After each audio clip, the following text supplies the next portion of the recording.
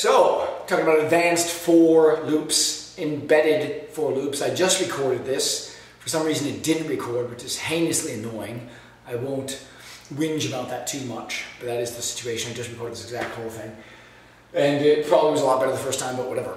so this is a for loop, combining for loops, nested for loops, hyper crazy advanced embedded stuff with the range function that you just learned about, and um, complex thing. Uh, so this is basically like kind of like the Python coded version of the sieve of Eratosthenes, which is this mathematical sieve that allows you to kind of identify prime numbers meticulously with loops. So this starts off as 4, i in range 3 to 7. Now remember, this refers to just the integers 3, 4, 5, and 6 because it's exclusive to the b value, a, b, exclusive to the b value. Then it goes into this nested crazy for loop action, crazy man, for x in range 2 to n. Okay, so now if, then branches in this if loop, if n modulus x equals, it's a mod modulus operator, is equals 0, then print what is divided by. So basically this is, in other words, this is the checker to see if it's a prime number or not. If it has a remainder of 0 for value of x, it's divisible by something other than itself, or 1, which means that it is not a prime.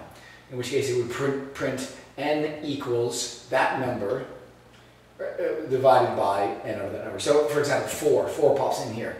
4 mod 2 is going to have a remainder of 0. So then it pops into here, and it's 4, prints 4 equals 2 times 4 divided by 2, which is 2, which is this line code here. What if it's 6? If 6 mod 3, or 6 mod 2, whatever, um, equals 0, which it does, great. Then it pops into here. Then it prints 6 equals um, the n value 2 times 6 divided by 2, which is 3. So that equals 6 equals 2 times 3, which is that. And what if it's, is the value of 5? n mod uh, 2, 3, or 4 always has a remainder, so it would never equal modulus of 0.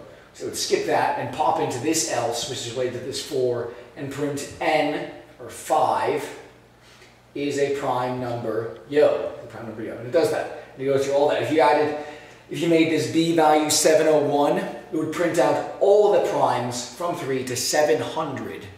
And if it wasn't a prime, but it was divided by. So that's pretty cool. That's pretty cool stuff. Awesome. Python is very elegant and efficient in that way. Awesome. Oh, it's awesome.